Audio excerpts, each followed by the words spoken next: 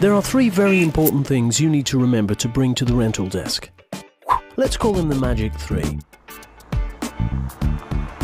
Number one, personal documentation. Although it might sound silly, it's always good to refresh your memory. Do not forget your license. There are a few things you might want to check.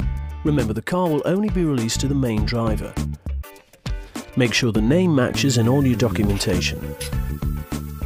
Also, make sure to check your expiration date and that your license is valid at your destination.